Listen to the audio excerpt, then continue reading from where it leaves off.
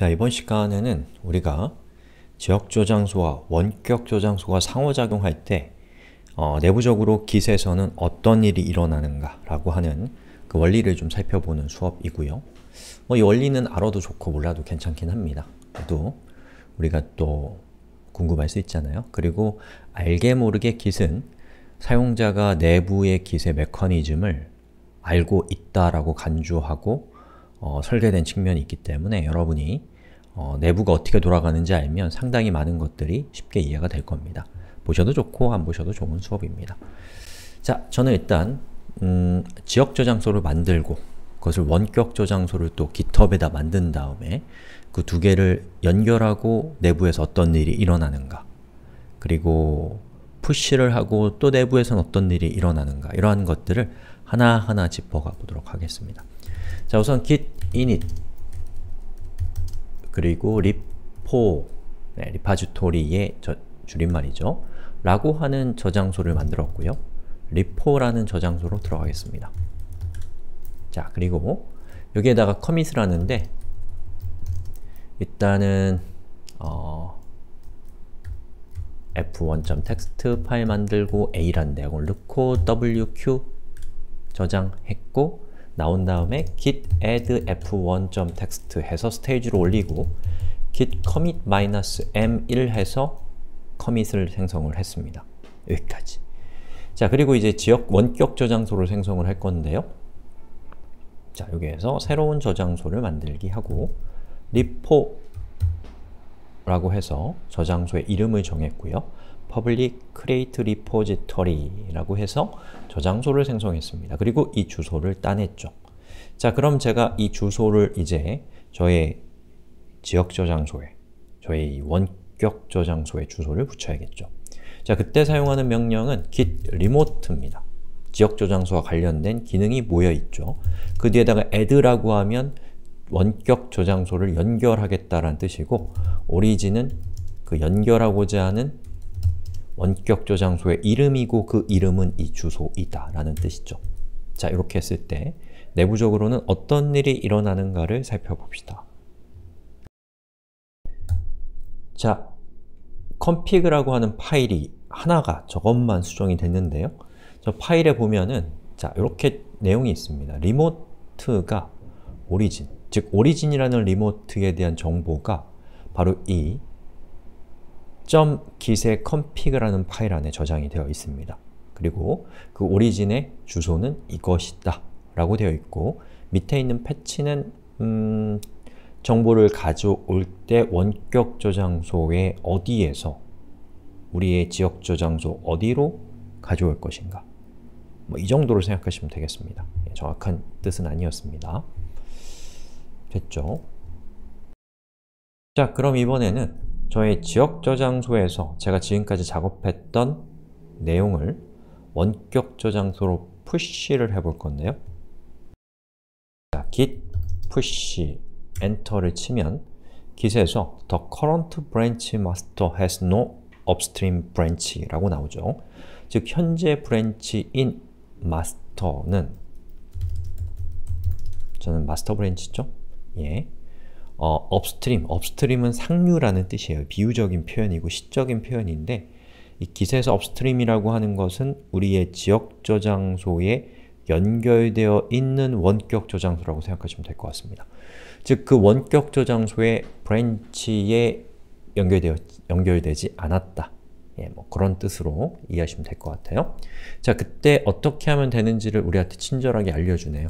git push에서 어, 현재 branch의 upstream을 set한다. 그리고 그 upstream, 즉 원격 저장소는 origin master이다. origin에 해당되는 저장소의 master branch이다 라는 그런 뜻이에요. 자, 카피합시다. 붙여넣기 엔터를 치면 내부적으로 두 가지 일이 일어, 일어나는데 어, 첫 번째는 우리의 master branch를 원격 저장소의 master branch와 연결시키는 작업이 첫 번째 두 번째는 업로드하는 작업이 두 번째입니다. 자, 내부적으로 어떤 일이 생겼는지 봅시다. 자, 우선 config 파일이 수정이 되었고 config 파일에는 아까 없었던 정보가 또 추가가 되었습니다. master branch에 대한 정보가 지정이 되어 있고 master branch는 origin에 연결된다. origin은 이것이고 이것의 주소는 이것이죠. 그리고 어, 원격 저장소에 음, 이 정보는 master branch와 우리의 지역 저장소의 master branch가 서로 연결된다라는 뜻으로 해석하시면 될 것 같아요. 자, 그럼 이 상태에서 제가 현재 우리는 어떤 상태인지를 한번 볼게요. 아, 하나 더. 요것도 한번 봐야 돼요.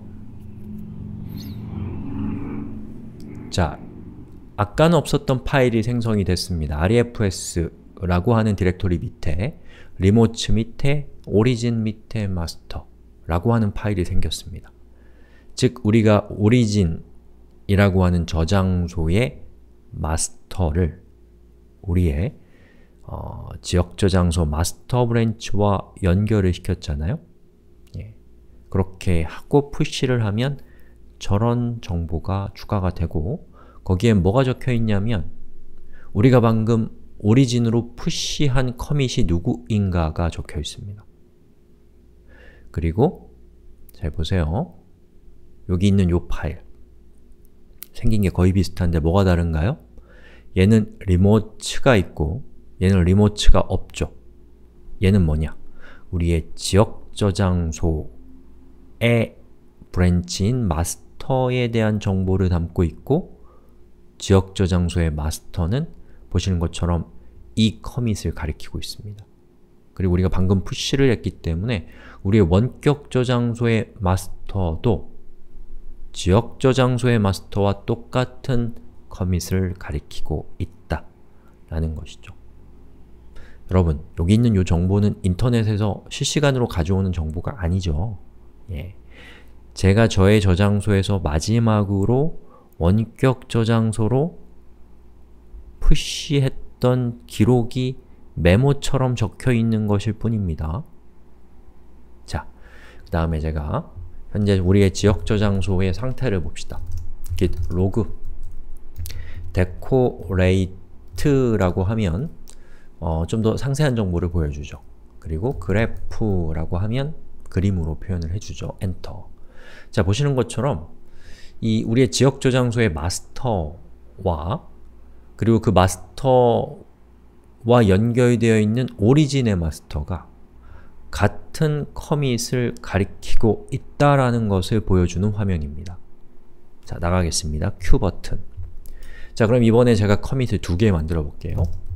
f1.text에 b라는 내용을 추가했고 어, 콜론 wq 저장 git commit am2 f1.text c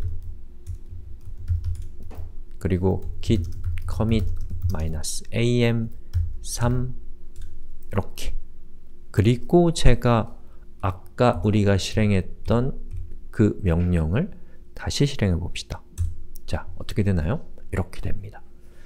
즉, 저의 지역 저장소 마스터는 두 번의 커밋을 했기 때문에 이만큼 여기에 가 있는 상태죠.